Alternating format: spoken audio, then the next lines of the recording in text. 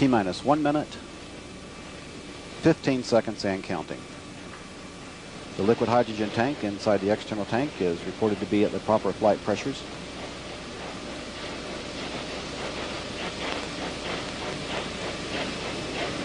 T minus one minute and counting. T minus one minute and counting.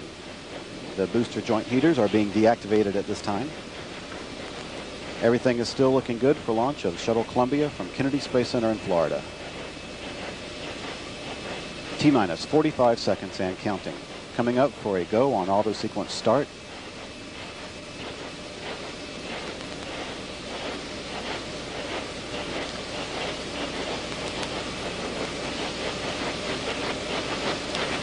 GLS is go for auto sequence. And we have a go for auto sequence start. Columbia's onboard computers have primary control of all the vehicle's critical functions. T minus 20 seconds and counting. T minus 15 seconds.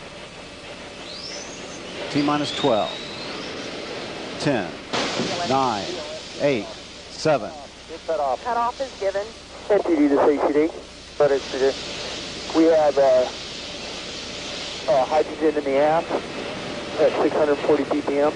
I copy. And CPROP NTD. We have a cutoff of our sequence. Decreasing now. And to this CPROP, uh, we see the spike. Okay. Any uh, emergency securing? Uh, negative, sir. Everything's coming down. I copy. And SPE NTD. Go ahead. Okay. Uh, RSLS or GLS hold. We are at RSLS. Hold. GLS is reporting an RSLS hold indication. Staging is in progress. VFS is 101, passes 101, and LDP is 1.